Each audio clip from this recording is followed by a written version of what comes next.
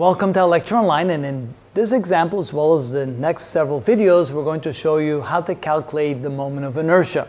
Now in this example we're going to illustrate how to use the, the parallel axis theorem and because it's a really handy theorem to, that otherwise without it would be a very difficult problem to solve here. Now notice we have a bar the length of the bar L is equal to three times the radius of each of the uh, what I would call spherical masses that are attached to the bar.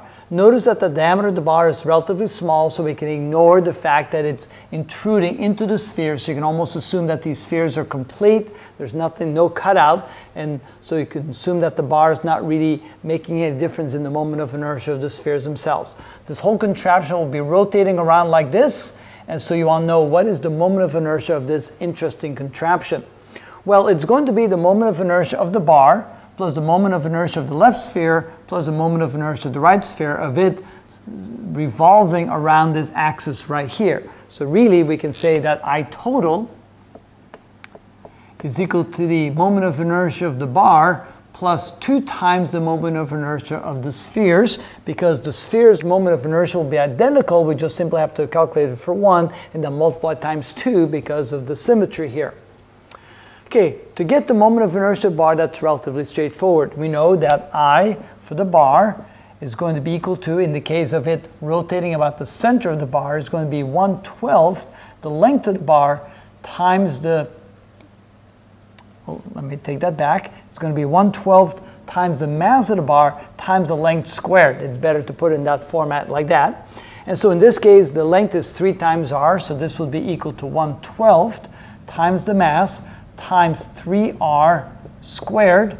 And so that would be equal to, uh, that would be 9 over 12 mr squared. And of course, 9 over 12 is the same as 3 quarters. So we can say that's equal to 3 fourths mr squared, which we could put in the equation right there. So I total is going to be equal to 3 quarters mr squared. That would be for the moment of inertia of the bar. Now, what about the moment of inertia of the spheres?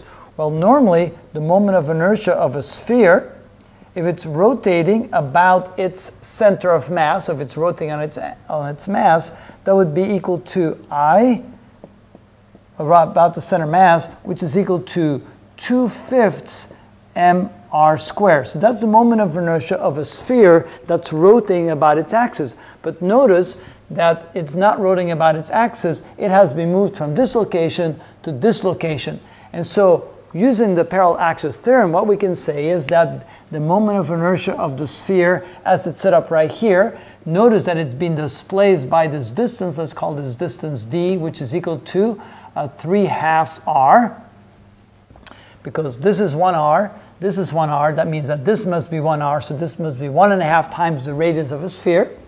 And so we can say that I sub s, which is what's going to go up in here, is going to be equal to I at the center of mass, which is what we know right here, plus the distance squared times the mass of the object, or I should say md squared, so that's probably a better way to write it. So in this case, it would be plus the mass of the object times the distance squared, the displacement quantity squared.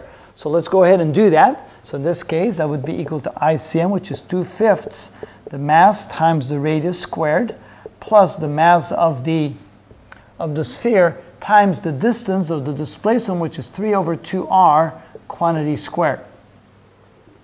Now we have to combine that.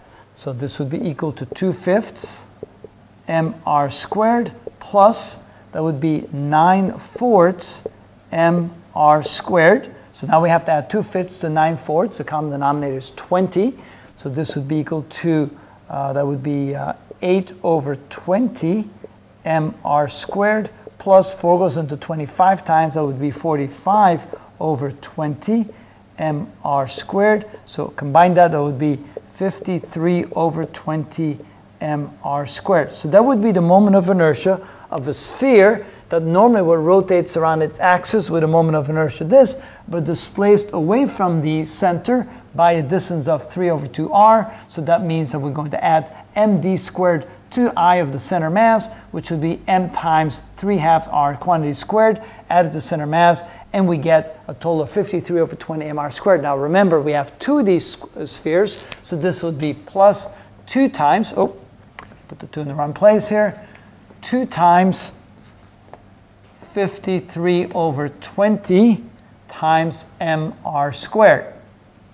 Of course, this will cancel out with that, so now we have 53 over 10, and now we have to somehow hmm, combine those two. Notice the common denominator would be 20, so I didn't get any help from that. So I total would be equal to, that would be 4 goes in 25 times, it would be 15 over 20 mr squared plus 10 goes in 20 twice, so that would be 2 times that, or 106 over 20 mr squared. So when we combine that, we get 121 over 20 mr squared, and that's a very sad looking r, mr squared as the total moment of inertia of the bar that has a mass of m and the length of 3r and the two spheres attached to the bar uh, at the center, the center lined up at the edge of the bar, the center lined up at the edge of the bar like that. And so then you go ahead, use the parallel axis theorem,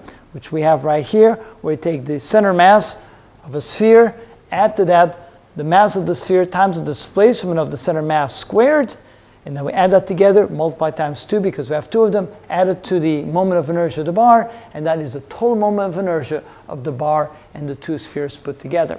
Now, of course, if you attach the spheres at the end of the bar, then of course you have a bigger displacement, and then this would be a bigger number, and you can go ahead and work it out like that as well. But in this particular example, that would be the answer. And that's how we do that.